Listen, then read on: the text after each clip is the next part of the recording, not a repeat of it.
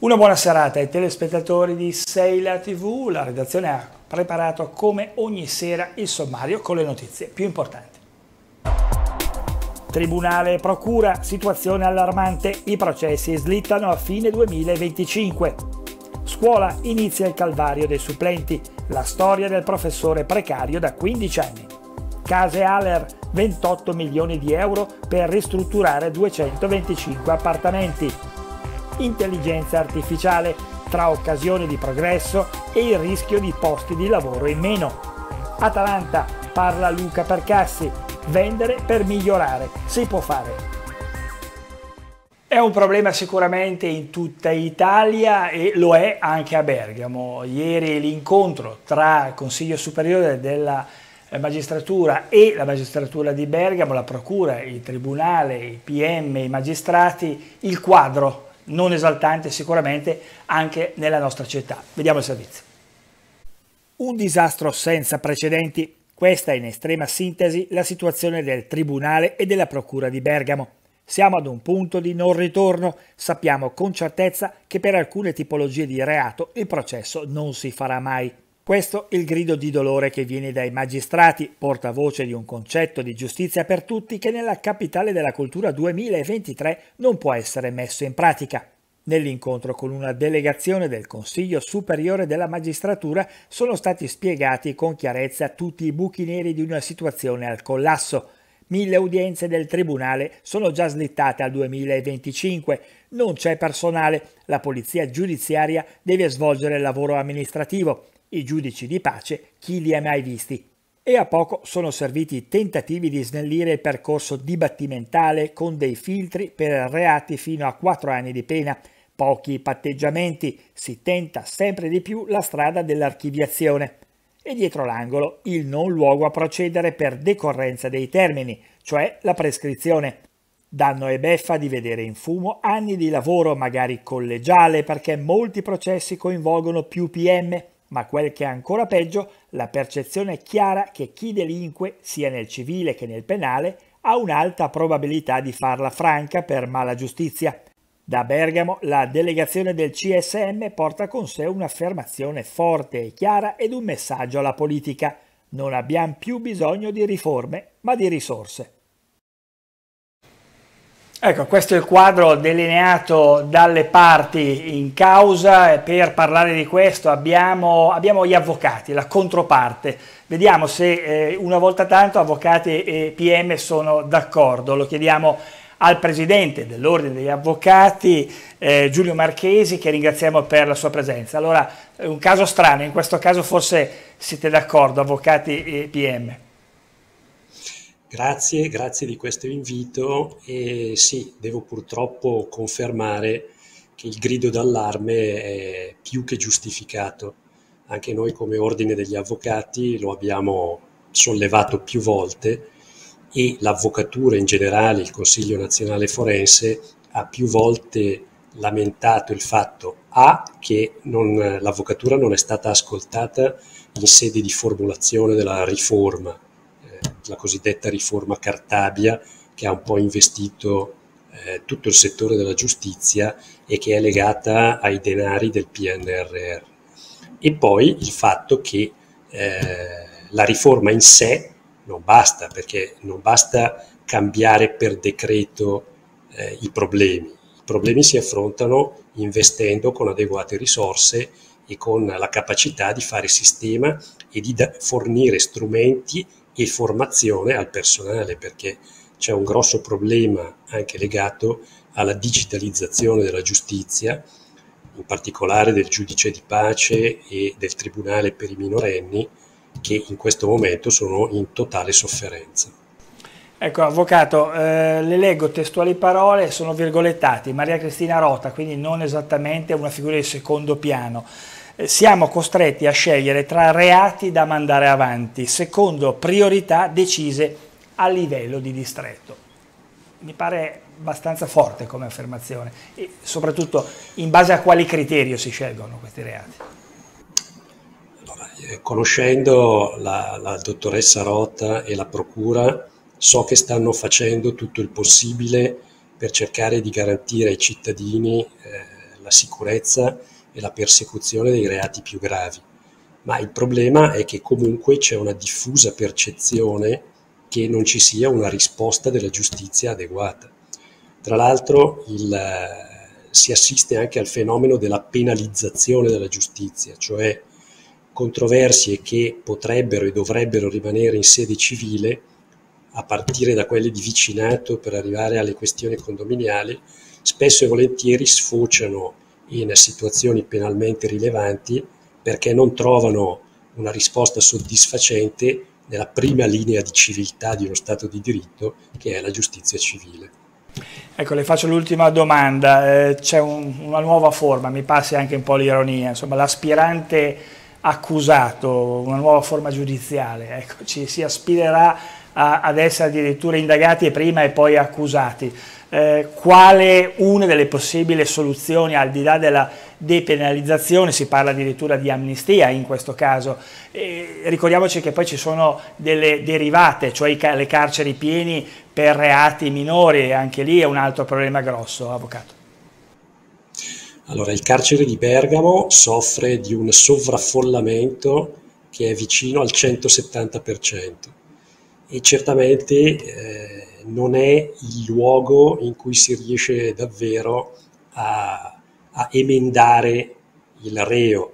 Noi abbiamo in Costituzione la, il principio per cui la pena deve essere rieducativa e serve a reinserire la persona nella società civile una situazione di questo genere eh, chiaramente non lo consente. Quindi le misure, diciamo, straordinarie di amnistia, di condono, sono misure che decide il legislatore e che però dovrebbero essere giustificate non tanto dall'emergenza eh, nell'affrontare i problemi della giustizia, ma da ragioni eh, di diritto o comunque di sistema e ordinamentali. Purtroppo, ripeto, siamo mh, come si dice, a fare le nozze con i fichi secchi e il risultato è questo. Grazie, grazie a Giulio Marchesi, Presidente dell'Ordine degli Avvocati di Bergamo, buon lavoro e ne ha sicuramente bisogno. Grazie e una buona serata. Grazie, grazie a voi. A voi. Grazie. Mattinata da incubo sulla strada della Valseriana a causa di un incidente che si è verificato alle 7.15 di questa mattina. La strada è stata chiusa in entrambi i sensi di marcia fino alle 11 coinvolti nell'impatto tre auto e un auto articolato, cinque feriti, ma fortunatamente nessuno di loro è grave. Tra loro anche un bambino di due anni. Sul posto sono arrivate quattro ambulanze, presenti anche i vigili del fuoco del comando di Bergamo, per bonificare l'area dello scontro e i carabinieri. E dopo l'episodio del 3 maggio con la sede cittadina imbrattata dalle scritte Novax e non solo, la Lega è stata colpita ancora. Stavolta sono comparse scritte sul muro del Pratone di Pontida, luogo simbolo del partito. Siete solo razzisti, si leggeva distintamente questa mattina. L'episodio che ha suscitato l'ira del senatore Roberto Calderoli che ha detto chi insulta o deturpa un luogo simbolo insulta la democrazia, la partecipazione, la parola data al popolo, il libero confronto delle idee e delle opinioni. Allora parliamo, eh, come al solito devo dire, purtroppo a due mesi dall'inizio della scuola parliamo ancora di insegnanti precari. Questa è la storia incredibile di un professore che è precario da 15 anni. Sono circa 3.000 i supplenti in Bergamasca che da oggi fino al 31 luglio potranno fare domanda per entrare a scuola. Tra di loro c'è da tanti anni Antonio, 40 anni e da 15 docente precario, che si è trasferito dalla Calabria a Bergamo con la speranza di un posto di ruolo nella scuola che ha visto però solo con il telescopio. È stata difficile perché ci sono stati tanti cambiamenti e nel momento in cui dovevamo entrare cambiava la legge e di conseguenza rimanevamo indietro o ci superavano altre, altre persone. È una ruota che gira, ti trovi dentro, che la fortuna entra dopo un po' di anni. Chi non si trova al momento giusto con, con la legge o per motivi personali rischia di, di rimanere precario anche per più anni. Ho dei colleghi che hanno 60 anni e ancora sono precari. La strada del posto fisso per Antonio è stata lunga. irta di ostacoli e sacrifici. Eppure una piccola luce in fondo al tunnel c'è. Dopo 15 anni dal 1 settembre entrerà di ruolo nel sostegno, una strada che tutto sommato piace al professore, che non nasconde però un certo doversi accontentare a fronte di quella che è la vocazione della vita, l'insegnamento dell'educazione motoria. Ma è stata la via più breve, perché ad esempio quest'anno c'era il concorso sulla mia materia, scienze motorie, ma c'erano solo 60 posti eh, in Veneto per cui non è accessibile mh, dal mio punto di vista, avendo famiglia, avendo le bambine, avendo comprato casa a Bergamo, non posso provare un concorso fuori sede per poi fermarmi tre anni in un posto diverso da dove vivo. Nonostante un'esperienza non proprio rosa ai fiori per l'accesso al ruolo, il consiglio di Antonio per i giovani che vogliono intraprendere questa strada è comunque di seguire la propria passione e intanto la presentazione delle domande per le supplenze da parte dei giovani e non docenti precari viene guardata con una certa criticità dai sindacati. C'è poca chiarezza da parte eh, del Ministero nell'informare in maniera eh, corretta tutti i precari su come compilare, chi deve compilare entro quando. C'è una sovrapposizione di scadenze che mette paura. Insomma, la pazienza e la passione sono gli ingredienti alla base della professione ma anche un po' più di chiarezza e stabilità non guasterebbero. Saranno donati all'Istituto Scolastico Pesenti di Bergamo alcuni macchinari che la polizia stradale aveva sequestrato a novembre in un'officina abusiva di Grassobbio gestita da un italiano. Gli studenti potranno dunque usufruire di un ponte di sollevamento auto, una pressa idraulica, una saldatrice a filo continuo, diversi carrelli, una macchina levagomme e una idropulitrice. A volere la donazione è stata la Camera di Commercio di Bergamo. Parliamo ora delle case ALER, case popolari, c'è l'impegno di Regione Lombardia per 225 alloggi, sono ben 28 i milioni di euro. Con un intervento da circa 28 milioni di euro, di cui 24 abbondanti provenienti dal PNRR e quasi 4 messi di tasca propria, Aler Bergamo ristrutturerà 225 alloggi popolari, oltre 160 nel complesso di via Moroni tra i civici 307 e 319 e i restanti ad Almine tra via Papa Giovanni XXIII e via Guzzanica. Interventi che riguarderanno sia appartamenti sfitti e che dunque verranno riassegnati che appartamenti già abitati, senza naturalmente sfrattare gli inquilini durante durante il cantiere. L'ultimazione dei lavori è prevista per la fine di marzo 2026, ma i cantieri sono già avviati e il 50% dei lavori si conta di terminarli per la fine del 2024. Aler Bergamo è stata finanziata, la più finanziata in Regione Lombardia con i fondi del PNRR. Sono interventi sostanziali perché permetteranno non solo l'adeguamento sismico ma anche il beneficio energetico, cappotto, rifacimento degli impianti, completamento e inserimento di pannelli solari eh, e soprattutto rifacimento anche delle aree verdi esterne che permetteranno uno, uno stile di vita migliore per le famiglie che già abitano questi appartamenti. Lavori che arrivano in un periodo delicato per l'edilizia popolare. Il presidente di Aler, Bergamo, Lecco e Sondrio, Danesi, ha annunciato che è stato rescisso il contratto con l'unica impresa che si occupava del verde attorno agli alloggi Aler. Verde ormai abbandonato da mesi, come abbiamo denunciato recentemente. La cura del verde è stata suddivisa in lotti e assegnata a diverse piccole imprese bergamasche. La notizia, insieme ai fondi del PNRR, rappresenta una buona risposta alle lamentele degli inquilini e di chi cerca casa negli alloggi popolari. Questa è sicuramente una visione di un appartamento che non è più quello banale, quello pubblico, scontato, tanto basta che ci, ci abiti. Stiamo parlando di investimenti che negli ultimi anni vanno oltre i 220 milioni di euro anche per i prossimi anni e questo pacchetto importante cuba sicuramente milioni e milioni di euro che si traducono poi in maggiore vivibilità degli spazi stessi. Aler intanto ha annunciato anche che sono pronti due altri interventi da 14 milioni di euro complessivi a Treviglio su via Peschiera. L'intelligenza artificiale mette a rischio i posti di lavoro, molti la pensano così. Vediamo. Chi ha paura dell'intelligenza artificiale? L'innovazione tecnologica da un lato crea numerose opportunità di sviluppo, ma dall'altro sta generando timori in diversi settori produttivi e dei servizi. Le macchine ci ruberanno il lavoro? In realtà è sempre stato così per l'automatizzazione di molti processi, ma sicuramente assistiamo ad un'accelerazione del rimpiazzo di alcune professionalità a causa dell'introduzione di tecnologie avanzate.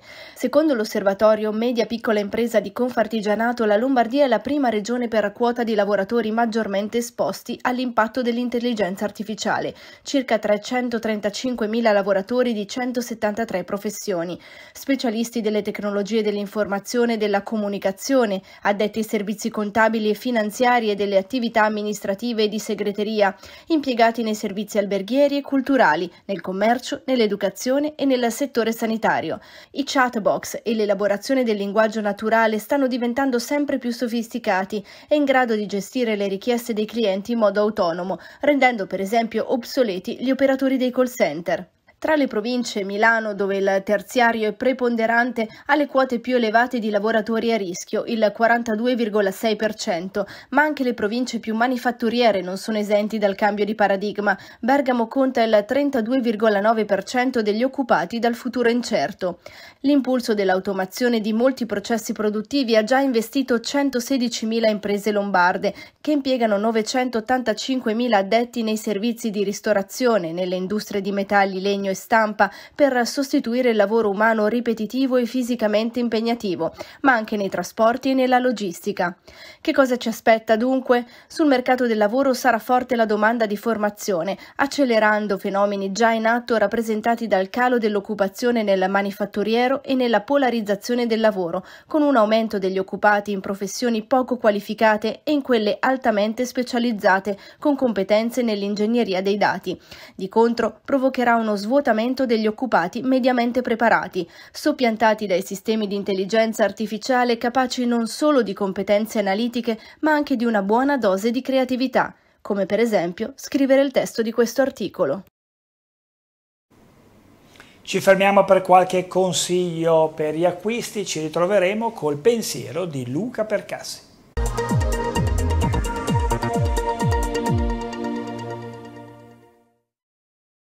Ben ritrovati con le notizie di Seila TV News. Luca Percassi, intervistato da Sky Sport, ha parlato di tante cose. Tra le prime il calciomercato, l'attitudine dell'Atalanta da sempre di saper vendere bene per poi realizzare i sogni di essere per sei anni consecutivi, anzi su sette insomma, nelle coppe europee. Vediamo il pensiero di Luca Percassi. Si possono cedere anche i gioielli. La storia dell'Atalanta insegna, a patto di rinforzare la squadra. È il percassi pensiero espresso nell'intervista concessa a Sky Sport. I nomi sul piatto sono sempre quelli. Scalvini, Hoylund e Cup Miners hanno pretendenti serie e titolate. L'Atalanta non ha bisogno di sistemare bilanci perché sono perfettamente in ordine, ma per continuare ad esistere nel mondo del calcio moderno e soprattutto tra le prime della classe, i conti bisogna farli bene. Oilund è stato acquistato a 17 milioni di euro, venderlo a 60 sistemerebbe un intero anno di Serie A. Questa la realtà. Percassi ha promesso che in ogni caso arriverebbero rinforzi con qualità di primo livello si cambiano gli addendi, ma la somma resta. Un altro aspetto analizzato nell'intervista è la voglia di giocare con la maglia nerazzurra. Rimanere qui ma pensare ad altri stadi e ad altri club non gioverebbe a nessuno. Per l'amministratore delegato bergamasco il mercato andrebbe chiuso il 31 luglio, Gasperini docet, ed infine una sottolineatura per gli arabi piglia tutto. Per Luca Percassi sono una risorsa, spetta a noi renderlo anche un affare. Ancora Atalanta, il collegio di garanzia del CONI ha respinto il ricorso del Siena, dando formalmente il via libera all'iscrizione dell'Atalanta Under 23 in Serie C. La domanda per l'iscrizione al campionato è stata regolarmente depositata e si aspetta solo la comunicazione ufficiale. L'Atalanta Under 23 con ogni probabilità dovrebbe giocare il, nel girone B, occupato dalle squadre di centro Italia e delle isole, quindi niente derby con l'Albino F.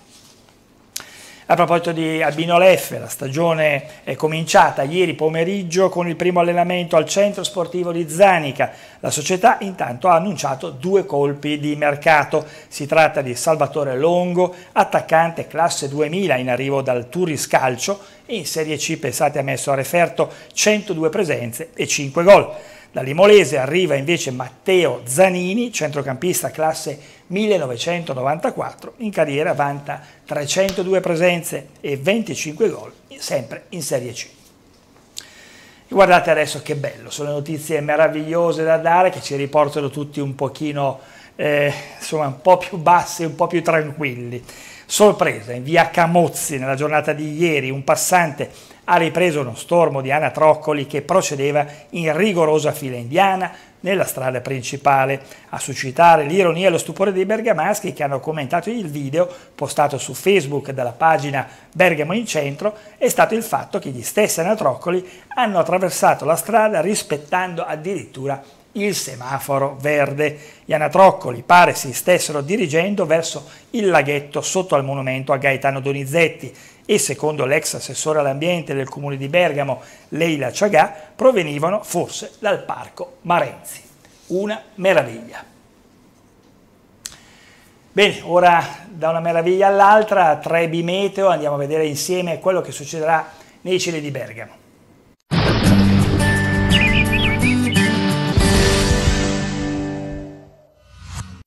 Un saluto a tutti gli ascoltatori da Mane Mazzoleni di Trebimeto. Come ci mostra l'animazione alle mie spalle, un centro di bassa pressione transita sull'Europa settentrionale.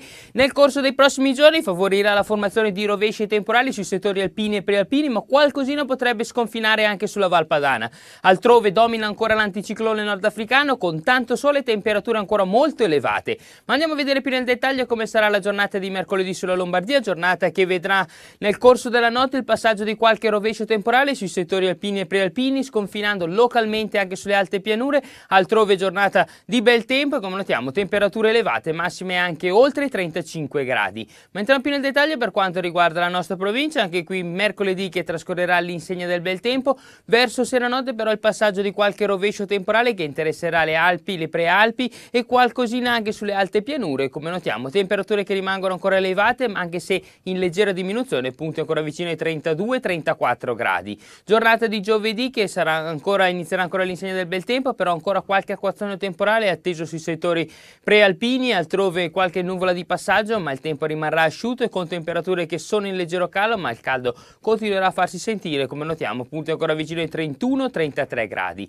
Vediamo poi come sarà il weekend perché l'alta pressione eh, si indebolisce ulteriormente, arrivano correnti atlantiche, quindi ancora rovesci temporali si formeranno su Alpi e Prealpi, andranno a interessare entrati anche la città, come notiamo, soprattutto tra venerdì e sabato, maggiori spazi soleggiati invece domenica e con temperature che sono in ulteriore calo, come notiamo le massime non vanno oltre i 27-29 gradi. Ma per maggiori dettagli comunque scaricate l'app gratuita di Trebi Meteo.